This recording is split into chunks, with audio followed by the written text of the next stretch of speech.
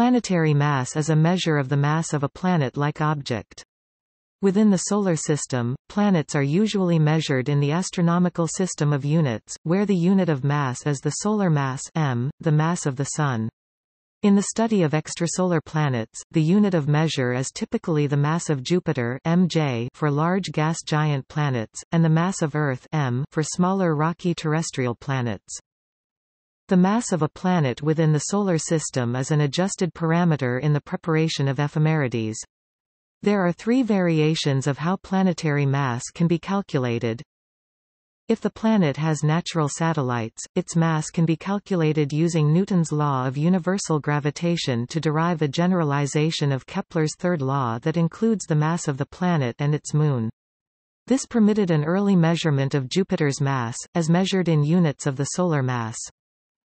The mass of a planet can be inferred from its effect on the orbits of other planets.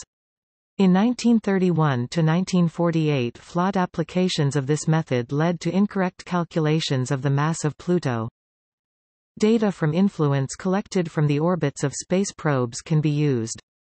Examples include Voyager probes to the outer planets and the Messenger spacecraft to Mercury. Also, numerous other methods can give reasonable approximations. For instance, Varuna, a potential dwarf planet, rotates very quickly upon its axis, as does the dwarf planet Haumea. Haumea has to have a very high density in order not to be ripped apart by centrifugal forces. Through some calculations, one can place a limit on the object's density. Thus, if the object size is known, a limit on the mass can be determined. See the links in the aforementioned articles for more details on this.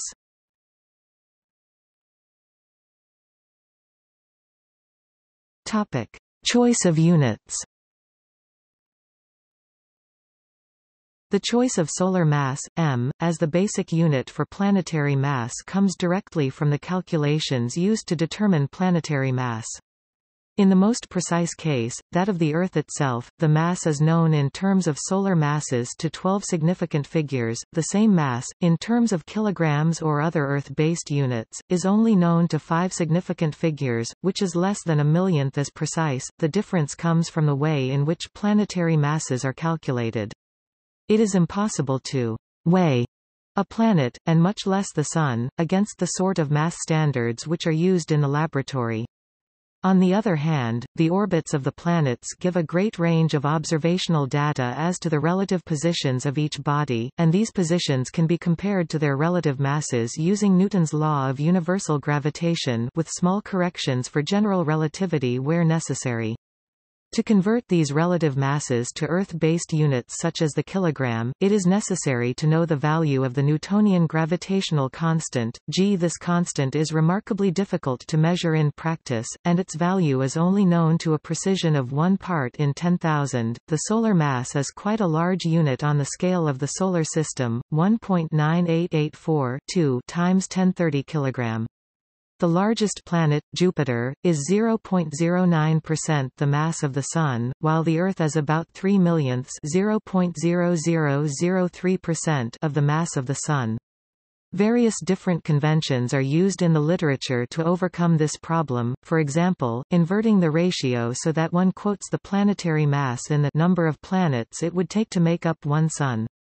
Here, we have chosen to list all planetary masses in microsuns that is the mass of the Earth is just over 3 microsuns, or 3 millionths of the mass of the Sun, unless they are specifically quoted in kilograms.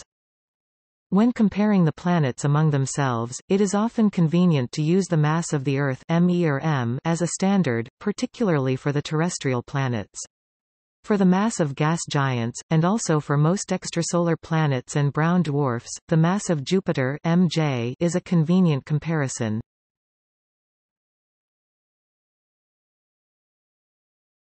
Topic: Planetary mass and planet formation. The mass of a planet has consequences for its structure by having a large mass, especially while it is in the hand of process of formation.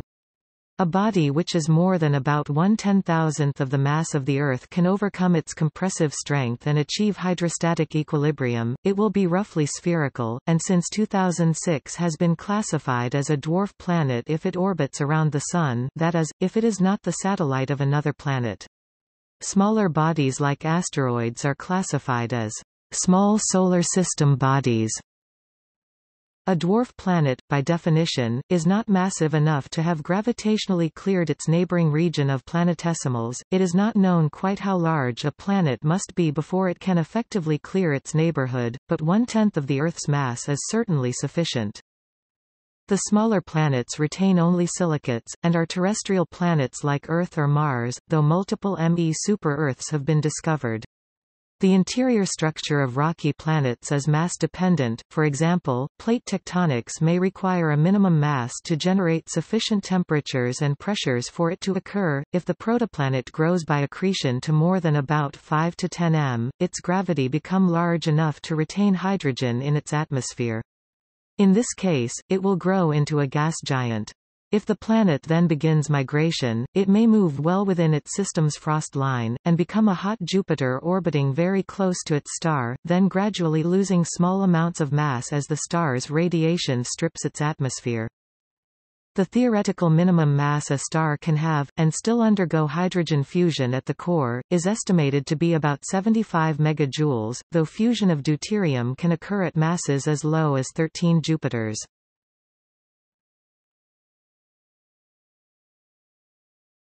Topic. Values from the DE 405 ephemeris The DE 405, LE 405 ephemeris from the Jet Propulsion Laboratory is a widely used ephemeris dating from 1998 and covering the whole Solar System. As such, the planetary masses form a self-consistent set, which is not always the case for more recent data see below.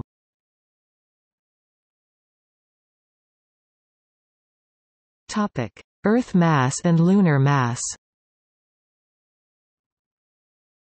Where a planet has natural satellites, its mass is usually quoted for the whole system planet plus satellites, as it is the mass of the whole system which acts as a perturbation on the orbits of other planets. The distinction is very slight, as natural satellites are much smaller than their parent planets as can be seen in the table above, where only the largest satellites are even listed. The Earth and the Moon form a case in point, partly because the Moon is unusually large just over 1% of the mass of the Earth in relation to its parent planet compared with other natural satellites. There are also very precise data available for the Earth-Moon system, particularly from the Lunar Laser Ranging Experiment LLR. The geocentric gravitational constant, the product of the mass of the Earth times the Newtonian gravitational constant, can be measured to high precision from the orbits of the Moon and of artificial satellites. The ratio of the two masses can be determined from the slight wobble in the Earth's orbit caused by the gravitational attraction of the Moon.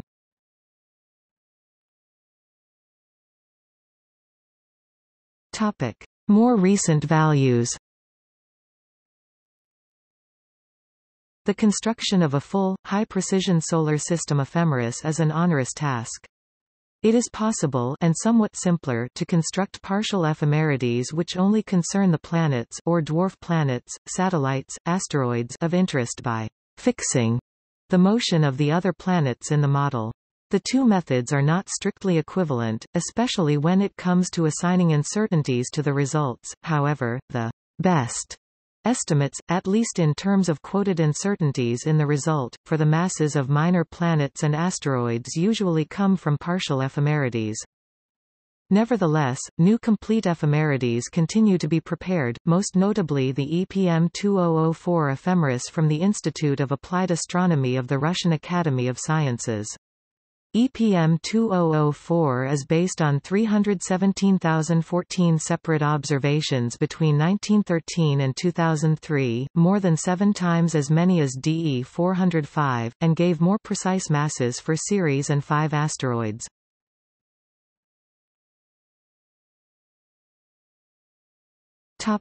IAU Current Best Estimates 2009 A new set of current best estimates for various astronomical constants was approved the 27th General Assembly of the International Astronomical Union IAU in August 2009. It includes masses for all the planets except the Earth-Moon system, as well as Eris, Pluto, Ceres, Vesta and Pallas. Values for the masses of Eris, Pluto, Ceres, Vesta and Pallas are as given in the table above. Except for those of Mercury and Uranus, all the planetary masses have been revised since the DE 405 ephemeris 1998. The ratio of the mass of the Moon to the mass of the Earth is given as 1.2300371 times 10^-2, while the ratio of the mass of the Sun to the mass of the Earth can be calculated as the ratio of the heliocentric and geocentric gravitational constants, 332.9460487 times 103, giving the mass of the Earth as 3.003486966 6 6 times 10 minus 6 m or 5.9722 6 times 1024 kilogram.